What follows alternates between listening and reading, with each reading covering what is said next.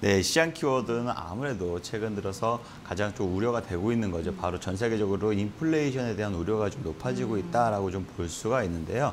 어, 국제 원자재 가격 상승과 그에 더불어서 공급 부족 이게 오히려 물가를 계속적으로 어, 상승시키는 요인이 되고 있는데요. 앞으로 몇 달 동안 전 세계적으로 인플레이션이 상승할 것으로 지금 어, 캐피털 이코노믹스가 좀 진단을 했는데요. 반대로 또 다우존스에 따르면 어, 이사가 경제 일부 부분에서는 최근 들어서 뛰어오른 인플레이션이 팬데믹 시작으로 인해서 어, 당시에 도달했던 저점 물가를 뭐 회복 되고 있는 구간이다. 일시적인 수급 불균형으로 인해서 해소된 뒤에 어, 안정적으로 좀 다시 진정될 것이다라고 좀 밝힌 게 있습니다.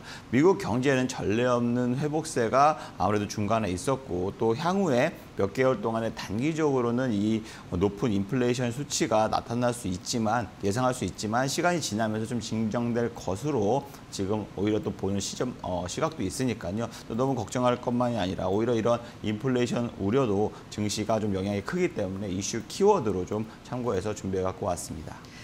네, 뭐 인플레이션 우려는 연일 뭐 이어지면서 원자재 값들이 그동안 많이 올랐고 그래서 관련주들의 강세 흐름도 이어졌는데요. 전문가님 그런데 요즘은 약간 이제 원자재 값들도 살짝 주춤을 하면서 관련주들 뭐 철강 관련주들, 농업 관련주들, 구리 관련주들도 조정을 받고 있더라고요. 이 네. 종목들 이제 그럼 시세가 끝난 건지 아니면 조금 더 기다리면 또 상승세가 이어질지 여기에 대해서는 어떻게 보세요? 네, 물론 당연히 이러한 수요가 계속적으로 증가하고 있기 때문에 에, 가격 역시 계속적으로 좀 상승할 요인이 큽니다. 물론 단기적으로 조정을 보여왔고 차익 매물들이 쏟아지면서 지금 오히려 지금 조정을 눌림목을 좀 보이고 있는데요. 충분히 긴 호흡으로 보시면 상승 요인이 더 크기 때문에 아무래도 추가적으로 추후에 상승할 수 있는 어, 재료들이 더 많다. 이렇게 보시는 게 좀 바람직하지 않은가 네, 이렇게 말씀을 드리도록 하겠습니다.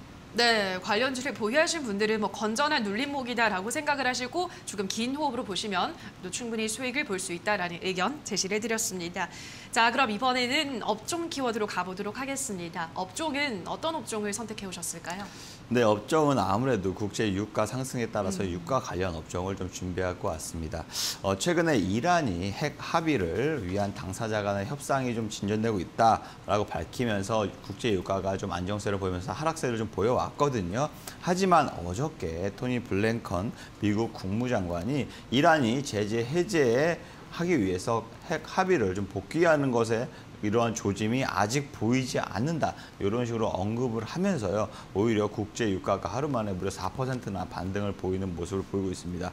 핵 합의가 복원될 경우에는요. 아무래도 어, 이에 이란에 대한 미국의 원유 어, 수출 제재가 좀 해제되면서요. 원유 시장이 이란산 원유 공급이 늘어나면서 국제 유가도 또한 안정세를 찾을 수 있다라고 좀 볼 수 있는데요.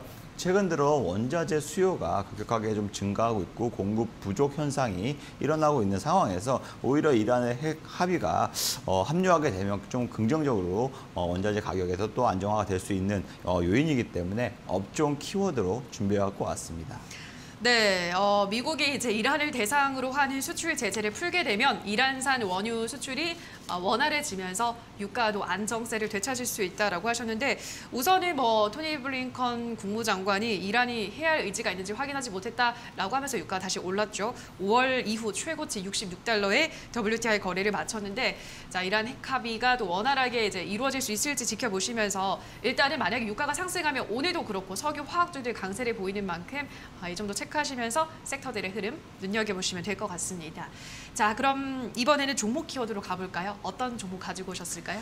네, 종목 키워드로는 대한항공을 준비해갖고 왔습니다. 앞전에도 우리 아나운서님께서 말씀을 해주셨는데요. 아무래도 지금 물류 수요 폭증으로 인해서 다른 뭐 항공 사들은 굉장히 지금 실적에 대한 압박을 받고 있는 상황인데 대한항공은 오히려 반대로 1분기 만에 무려 작년에 1년째 영업이익을 어, 벌어서 드렸습니다.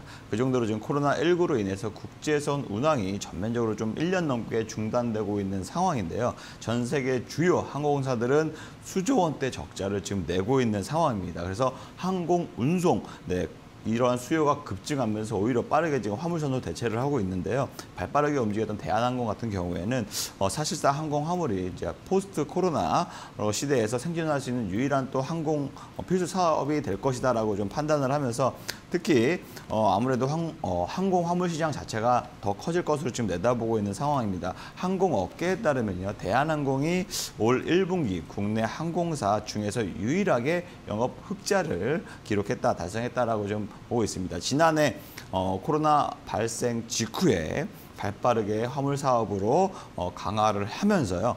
어, 올해 1분기에 어, 영업이익이 1,016억 원을 기록을 했습니다.